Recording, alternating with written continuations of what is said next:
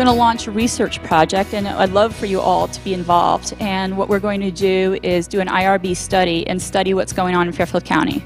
We had done a whole stadium, uh, Kennedy Stadium. We did 500 people. That was for a pep rally. We learned this morning 80% of kids heal within three weeks.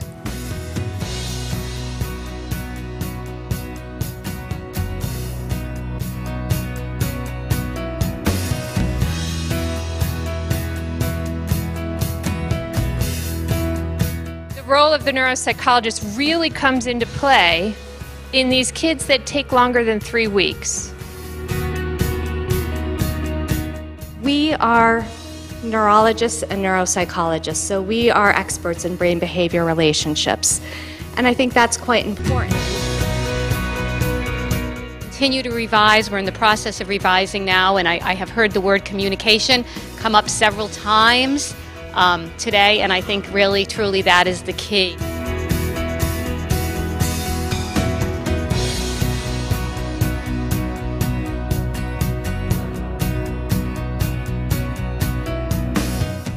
And now what's happened is all the pediatricians are now sending me all the complicated cases.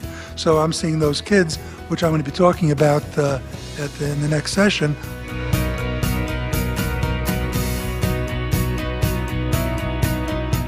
Mother of a young man who's had two concussions. Um, first one playing touch football, and the second one was from a series of subconcussive blows.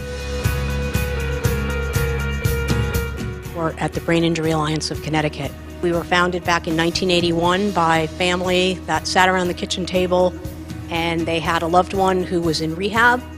Um, we're here today as the sponsor for this event because we believe in providing additional education uh, to the community and to providers about concussion. Uh, my daughter in 2010 was a sophomore at the Loomis Chaffee School and the goalie on the girls hockey team and got a bad concussion.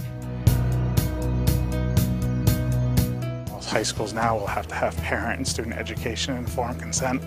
So with that, I think we're moving in the right direction as far as high school athletes and concussions at this point. Concussion, whether that um, makes it you know worse, does it does it alleviate or add more stress? So I think it's just really great to get different insights from people who are actually on the front lines too. For everybody from the nurses to the doctors to the athletic trainers to all get together and try to streamline really what's going on in the state of Connecticut and how to deal with concussions.